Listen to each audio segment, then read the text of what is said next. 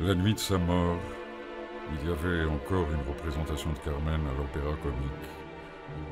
La créatrice du rôle, Célestine Gallimarié, ce jour-là, au moment de l'ère des cartes, ce fameux air où elle trouve la carte de la mort, où elle sait que son destin va être de mourir comme une femme libre, cette femme de liberté qui crie la liberté, qui va aller jusqu'à la fin avec la digne volonté d'être ce qu'elle est.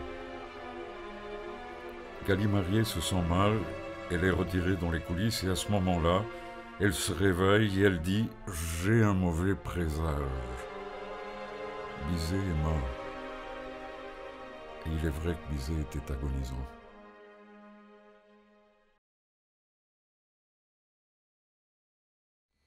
Vous savez, c'est euh, une grande émotion d'être dans cette chambre, dans cette chambre où Bizet est mort, la nuit du 2 au 3 juin 1875.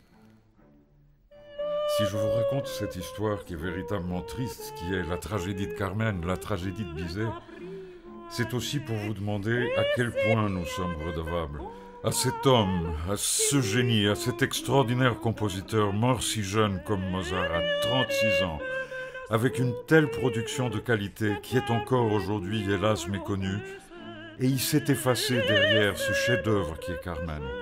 Donc, nous avons un devoir, un devoir vis-à-vis de lui, de sauver cette maison qu'il aimait tant. Je compte sur vous.